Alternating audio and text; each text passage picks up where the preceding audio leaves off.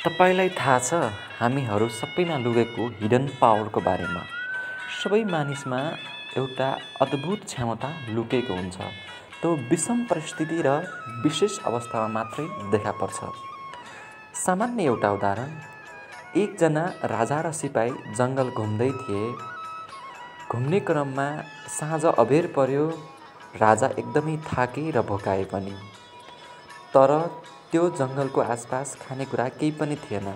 राजाले भने अब म एक कदम पनि अगाडि हिँड्न सक्दिनँ। अनि मन्त्रीले भने अब थोरै छ हामीले हिँड्नुपर्छ फर्किनुपर्छ।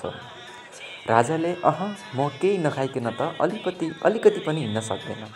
मन्त्रीले भने हजुर यहीँ पर्खिबक्सियोस् म हजुरको लागि केही खानेकुरा लिएर आउँछु। मन्त्री खाना खानेकुरा लिन फर्किए। राजा बसिरहेको थिए। अचानक अकस्मात उनले एउटा बाघ गर्जिएको आवाज सुने। बाघ गर्जिएको नजिकै बाघ आफूतिर आइरहेको आवाज सुने उनले। त्यसपछि उनी एकदमै जोरले दौडिए। यति जोरले दौडिए कि उनी राजदरबारसम्म पुगेको पत्तै पाएनन्। मन्त्री मन्त्री छक्क परे। महाराज हजुर एक कदम पनि हिँड्न सक्दैन भन्नुहुन्थ्यो। अहिले यति चाँडै यहाँ आइपुग्नुभयो।